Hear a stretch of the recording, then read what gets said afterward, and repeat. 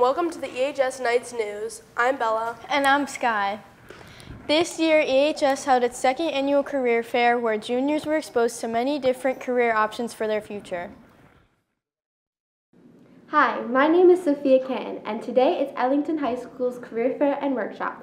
Today is an exciting opportunity for juniors because they will be able to participate in workshops that will help them prepare for their future. Some of these workshops include military information, college essay writing, IRS law enforcement, job interview skills, and many more.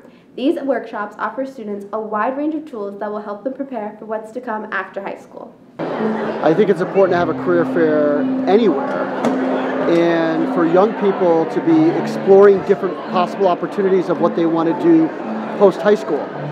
Going to college is great, but it's not the path that everyone has to take. So taking a path into different fields like manufacturing, working for the town, working on farms, uh, going into the military, we need good people in all aspects of all industries. And if Ellington public school students are aware of all the variety of opportunities out there to follow their passion and to contribute greatly to society and to really enjoy the work that they do on a regular basis. So it's not necessarily a job, but it's a career that is satisfying. Happy people make a happy planet, and we, we can all contribute. Presenters shared what their workshops were about and why they thought it was important to participate in the Ellington Career Fair. Students also shared their thoughts on what they liked about the career fair as well as what they took away. So uh, I'm with the Y, and what I'm trying to do is share like kind of like insider pointers, uh, do's and don'ts for job interviews. So things that employers uh, look for, don't look for, but might not communicate. So kind of insider information to give everyone a leg up on the job interview process. My favorite workshop so far was the job interview workshop with the manager from the Y because it really like just laid it all out there what you can expect like for people who haven't had their first job yet or people who have had interviews. It just lays it out there what you should expect how you should prepare like good tips to like get you an advantage in like the application field. Well um, they got the ivy over there. They had cookies. I like cookies. And then of course they have the uh, modern milkman right over there. They had milk. I mean milk and cookies just go great together. And that was why i really like those two I'm Kaylee from Oak Ridge Dairy and the Modern Milkman. And we decided to come here because um, we're local, right in the area. You can literally see our facilities from the high school. So we wanted to come and advocate for agriculture, agriculture community, and just kind of put our name out there and see if anyone wants to come work for us in the farming fields. Hello, um, so my name is Michael Bell, uh, Sergeant First Class with the Connecticut Army National Guard. Uh, your question about why it's important to have a career fair like this is for you guys being able to you know get experience and, and see you know different uh, fields and find interests and then also kind of learn more about that so that therefore you have a plan and know you know how to go from A to B. My workshop is about advanced manufacturing. Advanced manufacturing is a, uh, a very, very in-demand field today, and we're trying to let uh, all the students know about that. Um, some that uh, you know like to work with their hands, or they might be uh, geared toward that type of work. I think the career um, fair was very beneficial because it opened up new like ideas for students. Like some kids had no clue what they were going to do. It opened up trade. It opened up the military. It opened up college. Like it opened up all these new ideas, and I just think it was really beneficial because we got to learn more about our own careers and what other people wanted to do. And I just think it was great. I'm Sophia Canton, reporting for Ellington. This school year is coming to an end, and the class of 2024 is very excited for the end of their senior year. Here's Caitlin with the story.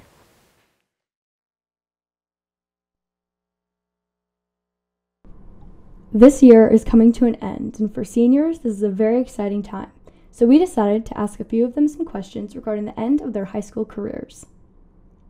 Seniors talk about what they're most excited for as their senior year comes to an end. Um, senior assassination and like class day and class night. Um, I think senior sass is gonna be fun. I think I'm definitely taking home the grand this year. Uh, 100%. Yeah. Uh, probably the most excited for senior assassination. Uh, I sprinkled in it last year. Got the rules changed. Uh, hopefully I can do the same this year, and uh, the goal is to win. Yeah. I would say I'm definitely most excited for senior assassination. Seniors talk about what they would do if they won senior assassination. Um, I'm definitely uh, gonna put it toward my mother. Uh, I think she really supported me throughout this whole year, and I think I'm gonna put it towards her. Um, I don't really know. I might spend it on uh, helping me pay for college. Uh, I don't know. I'd probably have to think about that. Uh, you know, maybe an online shopping spree, go to the mall. Always stuff for my dorm. Buy food. And food, yeah. Finally, seniors talk about how they feel about ending their high school careers. Um, I'm sad, but like I'm also really excited to like have something new in my life and like go to college and stuff, meet new people. Uh, it passed by a lot quicker than I thought. Can't believe it's gonna be a, you know, a couple weeks and we're done. So I'm excited. I'm kind of excited to start college, you know, a new chapter of my life. Overall, Ellington's class of 2024 is excited about graduating and what's next in their future. I'm Caitlin, reporting. A new award system started this year called the Super Badge. Here's Ella with the story. Ellington High School offers a super badge which is given to students who meet certain standards. In an interview with assistant principal, we got more details. Super Badge is our way as Ellington Knights of recognizing students who truly exemplify suiting up and standing up. Mr. Hubrins talks about what standards students need to meet to get Super Badge.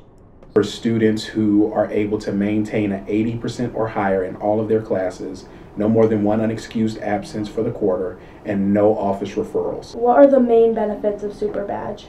So the ones that students care about the most, first and foremost, if you're an upperclassman with super badge, early dismissal. So if, being a super badge means you're already going above and beyond with your classes. So if you have a study hall at the end of the day, you've proven you don't need it. So we'll allow you, with permission from your parents and your counselor, to leave school early. Students are also eligible for early access. So as you saw today, we actually had our first suit up giveaway where we were able to recognize students and give them away free merchandise from our school store, brand new merchandise that we just purchased. That goes to Super Badge students first. Students talk about their perks of having Super Badge. Um, my favorite perks are getting early access to the school store. My personal favorite perks are um, that next year during my junior year I can leave early if I have a study hall during H block. Um, I also love that I can get early access to the school store. This is Ella reporting. This year, our school held a culture and climate conference where schools from all over New England came to visit us. Students got to participate in interactive activities and listen to guest speakers who had to come in. Many different schools sent their students and faculty to Ellington High School to learn about how they can make their school's culture and climate better.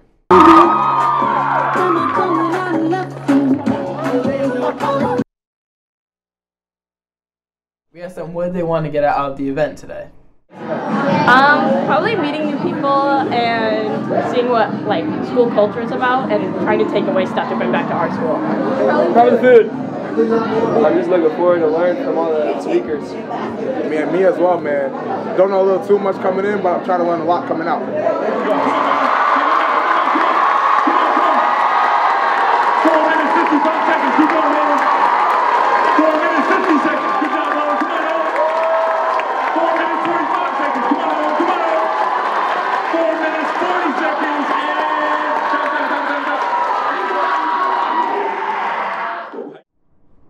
Guest speaker John Paul Gonzalez spoke out to the crowd.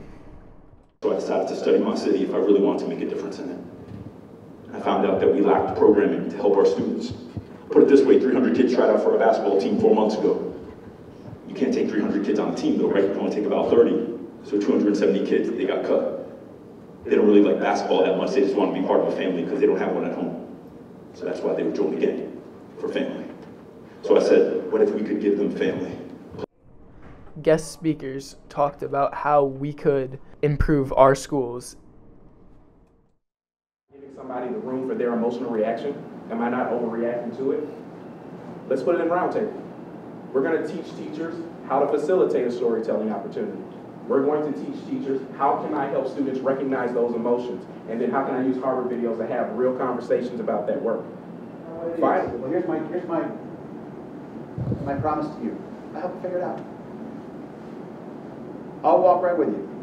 Yeah, you're, you're very, very welcome. Ro, wrap this thing. Thank you. They've left me two minutes. and tough, tough.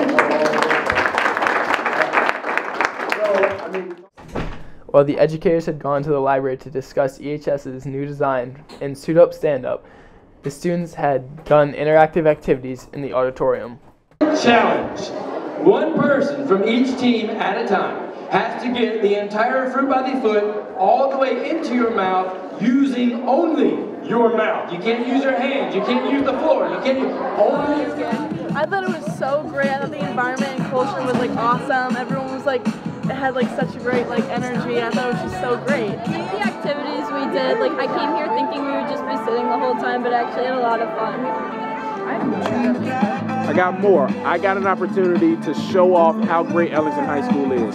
I got an opportunity for all of the students who put in the work to get their hour to shine. Every other school that came here today was talking about you guys. Every other teacher was saying, how did you do it? Because we can't do it. So impressed with the work you guys are doing. But now here's the hard part.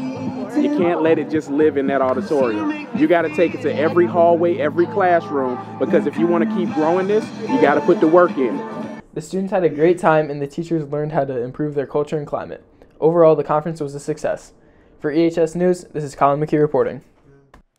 Thanks for watching EHS Knights News. We'll see you next time.